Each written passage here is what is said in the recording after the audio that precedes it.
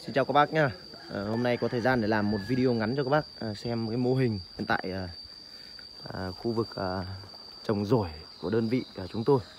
Thì Các bác có thể nhìn thấy ở đây toàn những cây rổi cao 25-30 mét. Có cây cao cả 4-50 mét rồi. Rất là cao. Gốc này vanh ở đây thì các bác nhìn đây. Vanh này toàn trăm rưỡi, trăm tám rồi cây, phần cây lâu năm rồi. Đấy. Khu vực trồng rổi nguyên liệu nha, tất cả những cái hạt rổi này để làm giống đều là những cái giống đảm bảo nhất.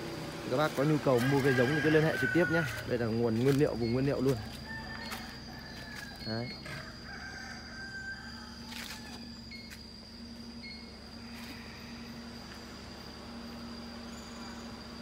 Các bác nhìn đây cây to rất là to Ui. Rồi xin chào các bác nhé